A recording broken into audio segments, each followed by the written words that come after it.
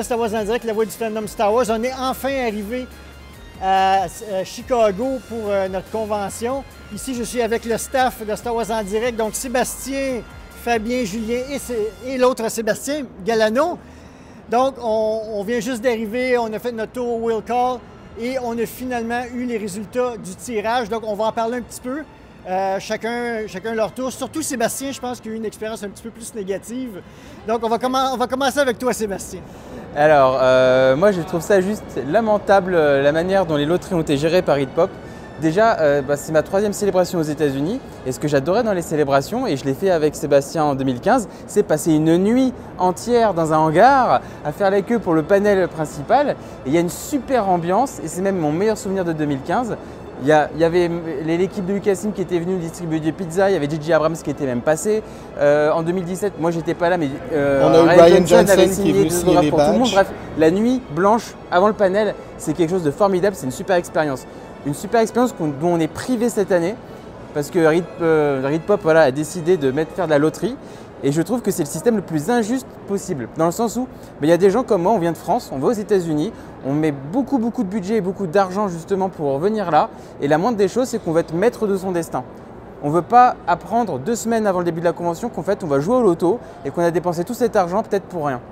Et, alors je comprends qu'il y a certaines personnes qui ont, qui ont- qui ont des difficultés, qui ne peuvent pas faire les nuits blanches, pour eux c'est compliqué. Mais dans ce cas-là, on, fait, on divise enfin, le- les places par deux. On fait une, euh, partie pour euh, les gens qui veulent faire de la loterie parce qu'ils ne veulent pas faire la queue. Et on garde une partie pour les gens bah, qui sont prêts à faire la nuit blanche. Et s'ils sont intelligents, ils, prennent un, staffeur, ils font le comptage. Et quand tout est plein dans la queue pour les gens qui veulent faire la nuit blanche, eh ben on arrête la queue, comme ça il n'y a pas besoin d'avoir une paire de- des gens qui font la queue inutilement. Ça ne demande absolument aucune, euh, préparation importante. Enfin, ils auraient vraiment pu le faire, c'est quelque chose de très facile à mettre en place, ils ne l'ont pas fait. Et au final, on, a- apprend. Alors il y a déjà des gens qui jouent le jeu à la loterie qui s'inscrivent le premier jour, et on apprend que la loterie est étendue à trois jours. Oui, Alors on ne sait pas pourquoi, c'est totalement injuste pour les gens qui ont joué le jeu. Et en plus de ça, euh, ils auraient, on avait fait un peu un calcul, il y a peut-être environ 6000 places assises, il y a peut-être 30 000 fans qui, qui attendent. Sur les quatre panels, au final, chacun peut avoir un panel. Et ils peuvent créer des algorithmes pour que chacun ait le droit à un gros panel. Et au final, il y a des gens comme moi qui se retrouvent avec zéro panel et d'autres personnes qui se retrouvent avec euh, allez, trois panels dans la En salle. direct, oui. C'est totalement injuste, c'est quelque part, on l'a dégueulasse. faite la nuit blanche parce que. euh, Alors, ce qu'il faut savoir Ouais. comment ça s'est passé, c'est que euh, on- il y a eu un message qui a été ba- balancé hier soir sur Twitter et sur Facebook de la part de la Star Wars Célébration pour dire Hey, ça y est, on a enfin décidé qui c'est qui avait gagné et qui c'est qui avait perdu. Euh, vérifiez vos, euh, vos boîtes euh, courriels pour euh, avoir les résultats. Euh, ça, c'était à peu près à 22h30 hier soir. Donc, qu'est-ce qu'on a fait tous? Ben, On est restés tous scotchés sur nos cellulaires, sur nos téléphones portables toute la soirée à faire un refresh pour voir euh, est-ce qu'on avait enfin les résultats. Sauf que, comme il fallait s'y attendre, ils ont envoyé euh, tr- 30 ou 40 000 euh, courriels euh, en même temps. Donc, euh, on n'a pas eu les trucs tout, à de suite. Donc, 5h30 du matin. donc c'est ça, on a eu les résultats entre euh, 4h30, enfin moi, moi j'en ai eu à 4h30, donc ça a été, ça a été une nuit, euh, finalement on n'a pas eu une nuit Bah, j'ai blanche, mais ça a été 4 une nuit très mouvementée parce que on se réveillait, enfin à un moment je me suis réveillé à 5h15, j'ai eu le malheur de regarder mon téléphone, j'ai vu que j'avais des, courriels de la part de Grotix, donc Grotix c'est eux qui gèrent justement toutes ces histoires de, tickets et de, panels et de loteries et tout ça. Bah, forcément, bah, imaginez bien qu'à 5h15, euh, je dormais, je dormais plus. hein. Donc, euh, donc c'est, c'est, définitif. Puis en, en discutant un peu avec les gens qu'on a pu rencontrer jusqu'à présent, ça a été quand même euh, un, truc d'inquiétude pour tout le monde. Et puis euh, ça a été euh, vraiment le, le sujet de discussion principal de ces derniers jours en tout cas. Et heureusement que Dany a gagné des, euh, des, des panels et que Mighty, nos, nos amis Mighty Box qui sont pas là mais que je salue ont gagné aussi des panels parce qu'au final on va se les partager et, euh, et tout le monde va pouvoir faire quelque chose Alors- et c'est bien quoi. Permets-moi quand même de préciser, on va essayer de se les Oui. partager. on va voir avec les premiers panels si ça fonctionne, parce que comment ça fonctionne en fait On s'est inscrit à la loterie, on a reçu un courriel nous indiquant vous avez gagné. Donc déjà la première chose c'est qu'on sait qu'on a gagné ou pas. Et on sait aussi dans quelle salle on est, parce qu'il faut savoir qu'il y a la salle principale où vous avez la chance d'être en, direct, Ouais. va de voir vraiment les acteurs. Et vous avez deux salles secondaires qui vont rediffuser finalement le panel principal. Donc même quand on gagne la loterie, on a parfois la mauvaise ou enfin la surprise euh, moins bonne, on va dire, de se retrouver dans une salle où on va regarder un C'est écran. pas pour moi ce que j'appelle. enfin, on dit qu'on a gagné le streaming, mais pour moi on a perdu. hein. Enfin, on a gagné si on est dans la salle principale, Oui, sinon on a perdu. hein. Pour moi, le streaming, c'est on a perdu. hein. On n'est pas dans c'est la ça. salle avec toute l'ambiance. C'est-à-dire, c'est on, va espérer qu'ils font quand même de l'animation, qu'il y, ait- qu'il y ait des choses qui vont se passer dans ces deux salles-là. Mais c'est vrai que finalement, on va regarder, on va regarder un streaming vidéo.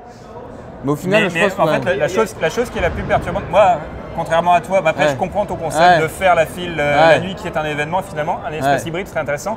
Mais je trouvais que la loterie était plus euh, juste. Là, ce que j'ai trouvé vraiment désastreux et déplorable, c'est que on a reçu les, on a reçu les réponses des- le- de la loterie aujourd'hui, enfin cette nuit. La Star Wars Celebration, c'est demain. Ça veut dire quoi? Ça veut dire qu'il était impossible pour nous de nous préparer pour la Star Wars Celebration. Pourquoi? Tout simplement, par exemple, moi, j'ai acheté euh, des, euh, des autographes. Et pour, euh, on m'a demandé une plage horaire quand est-ce que je vais aller faire ces autographes. Sauf que ne sachant pas si je vais pouvoir participer au panel ou pas, bah, il y a des plages horaires tous mes matins. En fait, je n'ai pas pris la chance de euh, prendre les autographes. Je les ai pris en après-midi et c'est là où, euh, où j'ai la chance. J'ai pris que deux autographes, donc finalement ça va aller. Mais on n'a pas pu préparer notre emploi du temps. On va préparer notre emploi du temps aujourd'hui, dans, cet après-midi. Aujourd'hui, on avait été récupérer les, euh, les passes, euh, que ce soit médias ou les passes euh, ont été disponibles euh, en avance, ainsi que le merchandising. On va pouvoir en reparler aussi. Ça, c'est très très belle imi- très belle idée. Euh, je suis aussi allé récupérer les places pour le batch euh, de la 501 de la Rebelle Légion. C'est un batch commun cette année. Euh, donc tous les, tous les passes sont récupérés aujourd'hui. Donc on avait peut-être autre chose à faire qu'à planifier notre, notre événement avec des. euh, Là, on est chanceux, on est, on, on est sur le show floor, euh, qu'on n'est pas supposé à être, en fait. Merci, Sébastien. Et juste à, à la sortie, si vous êtes attentif, il y a une superbe mosaïque. Qui voudrait parler de la mosaïque? Et du petit cachet qui nous garde? Donc c'est vrai qu'en fait, il a- je sais pas, ils l'ont annoncé un peu il y a quelques jours, on l'avait vu un peu sur internet, euh, je me rappelle plus exactement l'artiste qui a fait ça, mais effectivement il y a, une grande fresque en fait qui a, été faite, euh, qui est juste euh, de l'autre côté du mur, là où on est tout de suite, donc l'autre côté du show floor. Et, donc on voit d'un point de vue chronologique en fait des, illustrations, des films, mais aussi des séries animées, sauf Résistance d'ailleurs, mais en- on a de Clone Wars et de Rebels. Ce qui est assez drôle, c'est que pour Rebels, on a justement euh, bah, les, les personnages qui ont été euh, euh, humanisés, enfin ouais, je sais pas si on peut dire humanisés, mais de façon plus réaliste en tout cas. Et donc on a jusqu'à l'épisode 8 et à la fin de la fresque, en fait, on a un grand drap noir qui a été, qui a été tapé et on, on- on imagine beaucoup que bah, dès, dès- dès la, la fin du panel de l'épisode 9, eh ben, le visuel va être, enfin le drap va être enlevé pour laisser ré- révéler le, le visuel concernant l'épisode 9. Donc euh, ça, c'était une des belles, des belles surprises qu'on a eues euh, ce soir. Euh, au niveau des panels, parce qu'on vous a pas dit comment, un peu ce qu'on a eu quand même chacun et qu'est-ce qu'on va pouvoir couvrir. A priori, on devrait quand même pouvoir couvrir tous les panels principaux, justement en essayant de se les échanger, etc. avec des, des- des- des amis. Nous, on a eu la chance finalement, il y avait des choses qu'on n'était pas trop sûr, c'est sur la gestion des, groupes en fait. Visiblement, bah, finalement, les groupes. Euh, toutes les personnes qui étaient dans le même groupe ont eu les mêmes euh, panels, alors qu'au début on pensait que ça allait être euh, juste quand une personne achetait plusieurs badges, en fait ces personnes-là allaient être ensemble, puis sinon ça allait être individuel. C'était ce qu'ils avaient laissé sous-entendre de toute façon d'ailleurs sur, le- sur la FAQ. Puis euh, nous on se retrouve à avoir les mêmes panels. Euh, Seb, si tu veux dire les, les panels qu'on a eus. Oui, ben en fait, on a réussi à avoir euh, des billets pour Galaxy's Edge, donc on va en direct euh, du Wintrust Arena. On a aussi eu des billets pour The Phantom Menace, le 20e anniversaire, encore une fois au Wintrust Arena.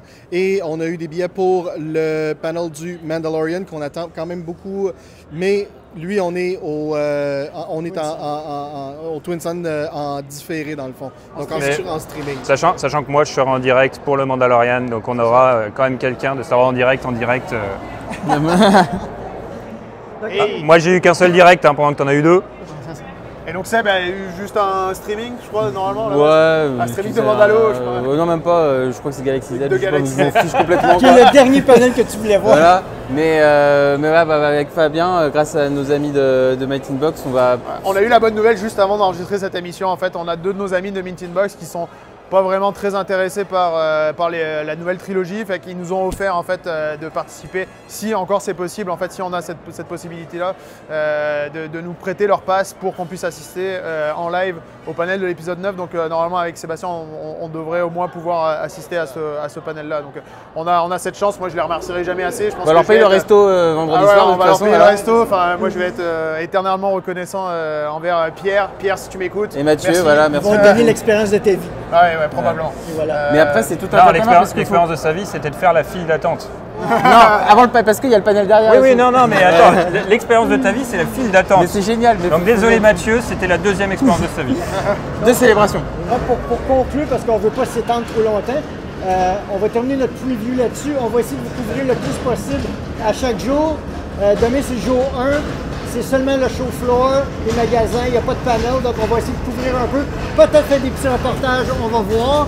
Euh, il y a beaucoup de bruit. On va vous reparler de, de toute la marchandise demain euh, et puis de nos mésaventures de Les autographes. de la marchandise. Demain, je vais rencontrer. Peter Mayou, qui est une personne détestable. Alors, je vais voir s'il est toujours aussi détestable.